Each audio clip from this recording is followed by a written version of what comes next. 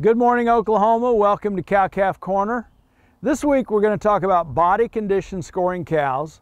And this information is covered in great detail in chapter 20 of the newest edition of our beef cattle manual.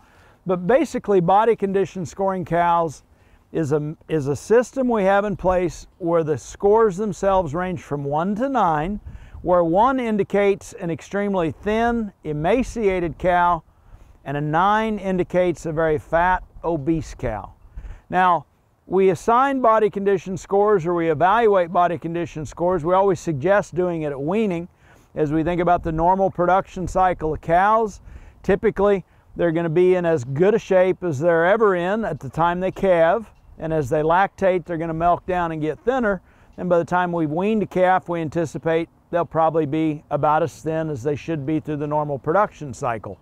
We're going to talk the next couple weeks about using body condition scores as a management tool and when the optimum times of the year, if we need to add body condition, actually happen. So when we evaluate body condition scores, we want to take a look at things that actually indicate body fat reserves on the cows. Now, what I mean by that is we want to look beyond the depth of a cow, the length of a cow, the frame size, the hair coat, the pregnancy status, and we actually want to take a look at those things and, and, the indicators on cows along their top, around their tail head, through their brisket and flank line of where they're going to deposit fat.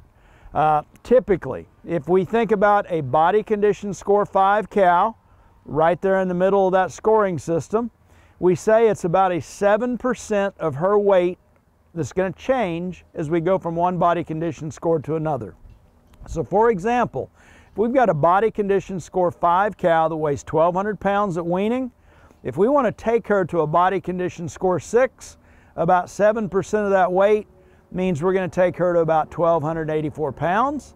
If we let her drop to a body condition score 4, we'd expect her to drop down to about 1,116 pounds. So why do we talk about body condition scores and why are they important?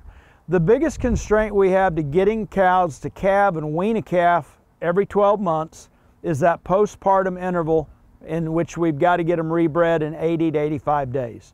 We know that nutrition is highly correlated to reproductive efficiency and maternal performance.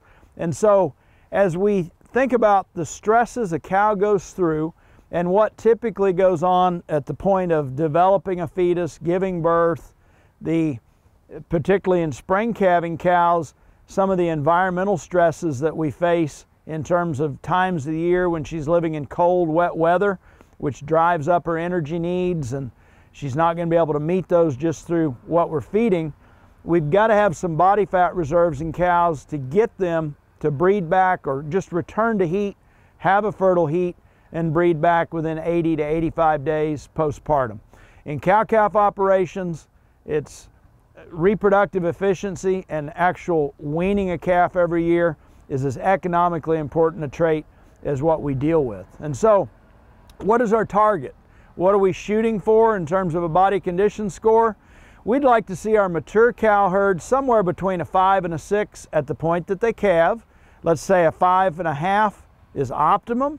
So we know that that cow going through the stresses of calving, lactation, particularly environmental stresses, is going to be, have the body fat reserve she needs to breed back in a timely fashion. We'll continue to talk about this next week. I appreciate you joining us this week on Sunup TV.